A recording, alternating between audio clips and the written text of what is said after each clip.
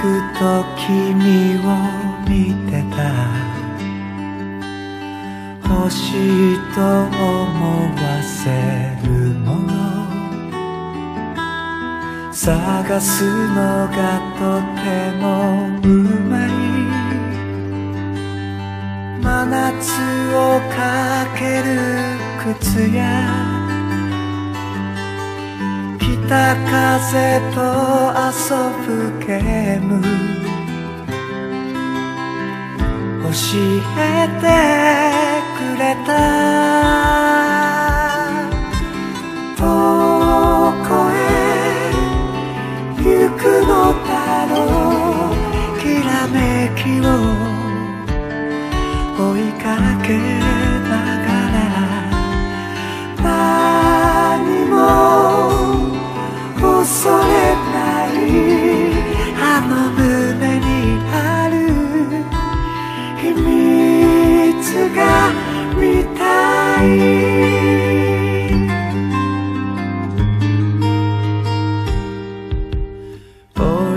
したつもりなのに。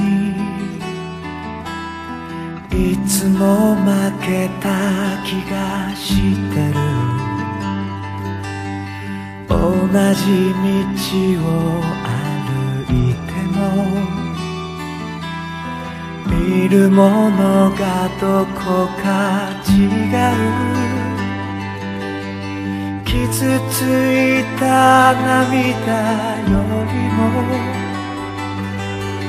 たわいない汗のために時間をくれた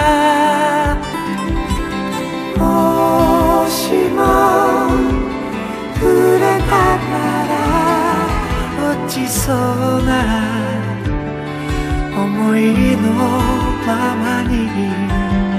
誰も